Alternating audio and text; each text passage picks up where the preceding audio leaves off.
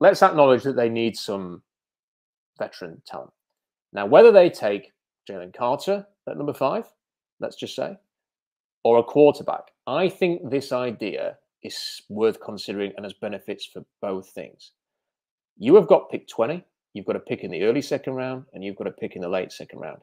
Now, I freaking hate the idea of another crap veteran trade, but I'm going to suggest one anyway for the purpose of a conversation about this because nobody else has really talked about this, and I want to I want to get your idea on it. I don't think this reading what has been said by the Washington Commanders GM that Da'Ron Payne is going to be allowed to hit the market. I think he's had two, he had a career year, 11.5 sacks, incredible for a defensive tackle. 18 TFLs, third most in the league. You cannot let a guy like that walk. He's 25. He's not 26 till, till later in this year. I think it's May or something. So they're going to franchise him for $18.9 million. But they've paid Jonathan Allen. They're going to have to pay Montez Sweat, and they may want to pay Chase Young if he can get healthy again.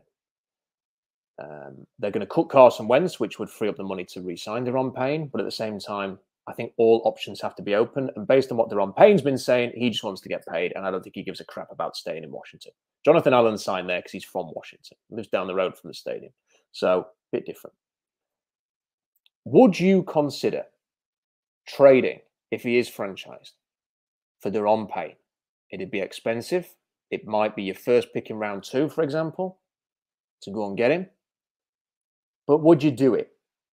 Because what you do get then is a veteran, proven sack specialist, tackle for a loss specialist, fits the scheme, hard nosed, explosive, quick defender on a 490 at 310 pounds. You get him in at a great age. You could sign him to a four year contract. He'll be 30 when that runs out.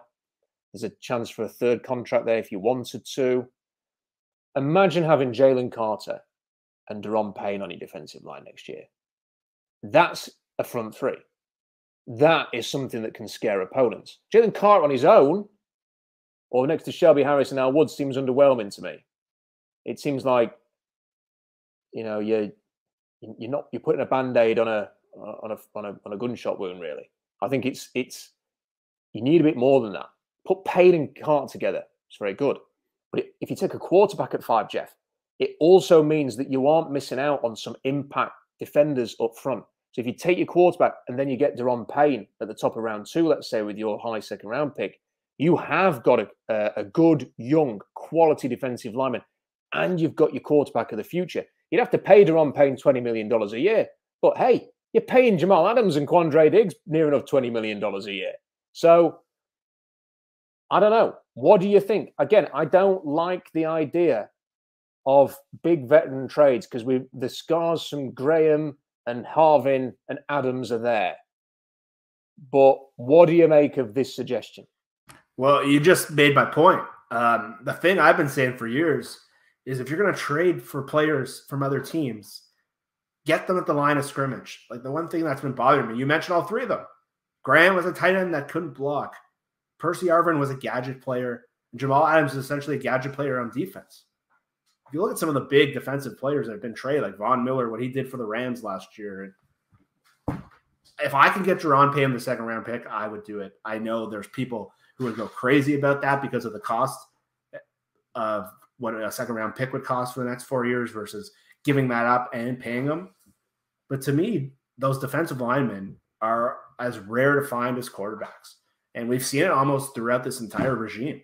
They haven't had a lot of guys like this. Like getting Avril and Ben and free agency was so lucky, and the prices they got were so unbelievable. But Da'Ron Payne's a 25 year old stud in the middle of the defensive line, and and I think the cool thing was it's exactly what you said. It it opens up a lot of luxury and flexibility with that pick five.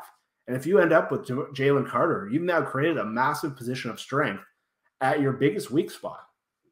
And I just think players like Da'Ron Payne are super rare and they don't hit free agency. And if they franchise tag them, you see the drop off in quality and talent. These big defensive tackles, and you look at like DJ Reader's a guy that's done really well in Cincinnati, and that's the kind of player we've been saying Seattle's been needing to sign. And those are the kind of players I actually would feel comfortable trading for. Like the Giants traded for Leonard Williams a few years ago. I think it was a third round pick they gave, and they paid him twenty million dollars a year or something.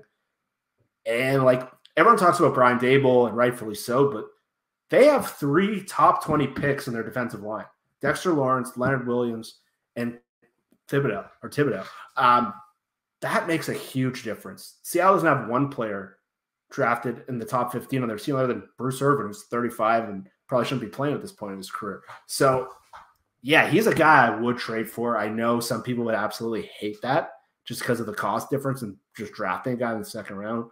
But to me, guys like that are hard to find. They're rare and they can change your ceiling.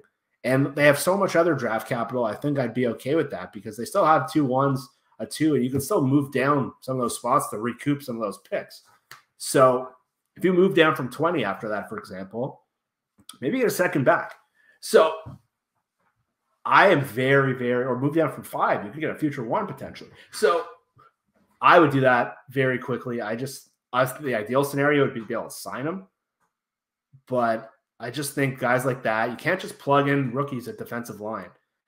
You see it with Cincinnati, you've seen it in Buffalo, you've seen it in Kansas City. They traded for Frank Clark. They won the Super Bowl the next year. They paid Chris Jones. Like it took Chris Jones a couple years.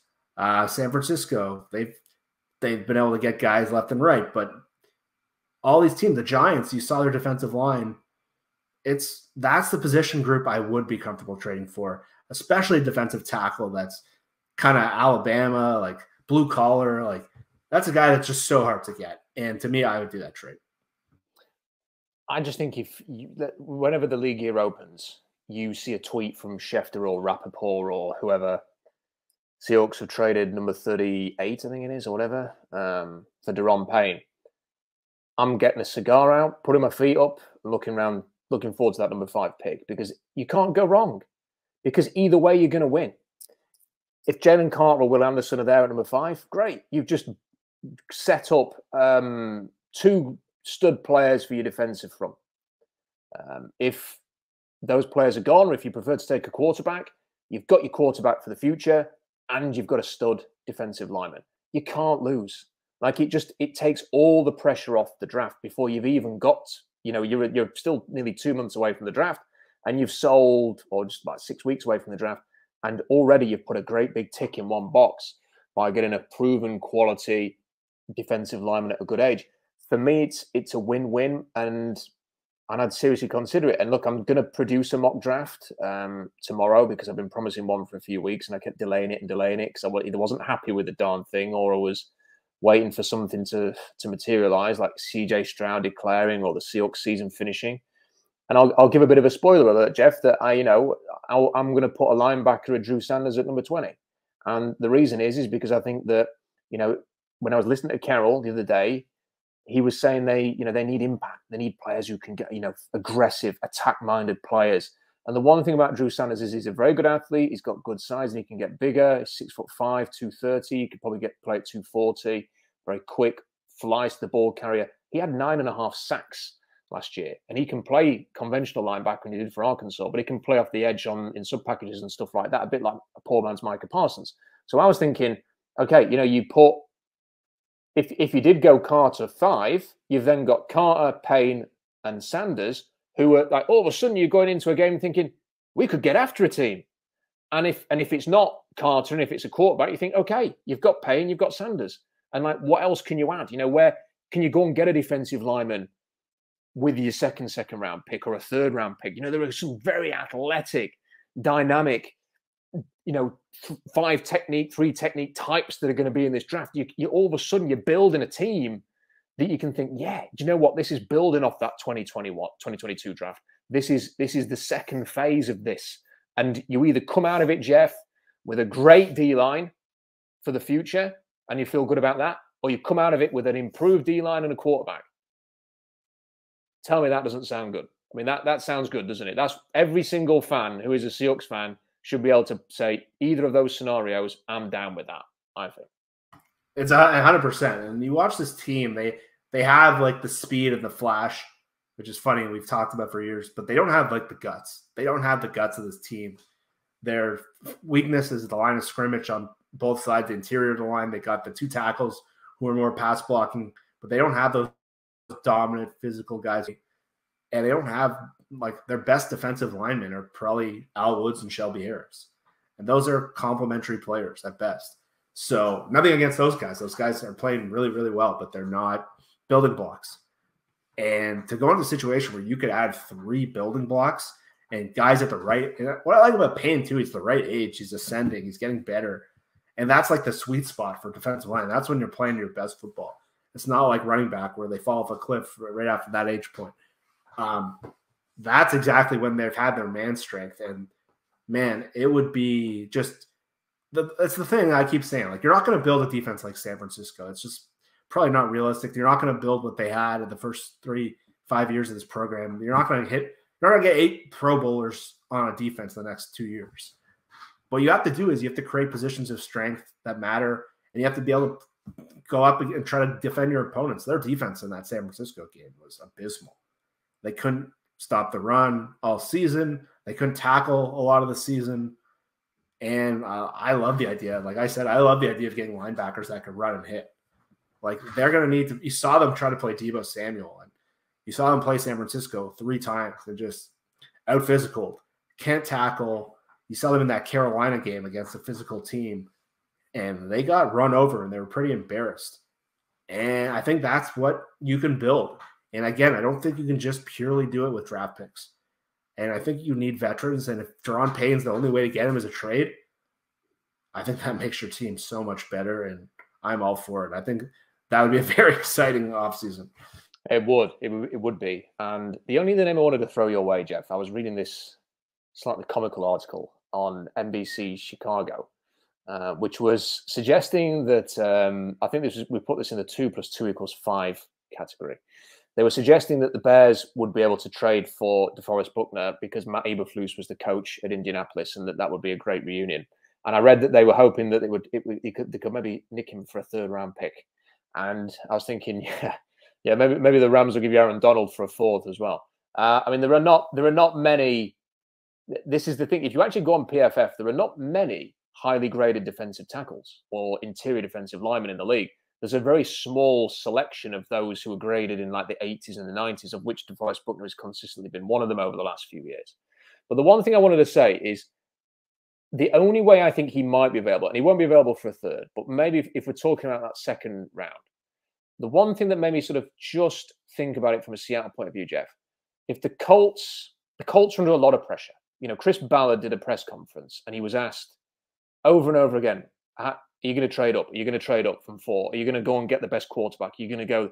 There's immense pressure on him to get the best quarterback of this draft, or who his guy essentially, because for years it's been Philip Rivers, Jacoby Brissett, uh, Carson Wentz, Matt Ryan, and the fans are sick of this. They want a good young quarterback. Now they can get one at four, presumably, but what if they see it as two quarterback draft and they're both gone? You know what they're going to do? They're going to draft a defender you know, like they've got to maybe they've got to trade up, and the the Colts do not have a third round pick um, because they're giving it away. So they need a bit more stock in order to be able to confidently move up to Chicago.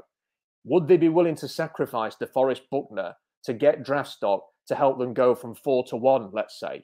And would that appeal to the Bears if there's a bit more stock thrown in? Because then they stay in the top four rather than say trading to ninth with Carolina. I do think there is some benefit to Chicago if they're going defense to saying we want to go and step, we want to make sure we get Will Anderson or Jalen Carter, let's say.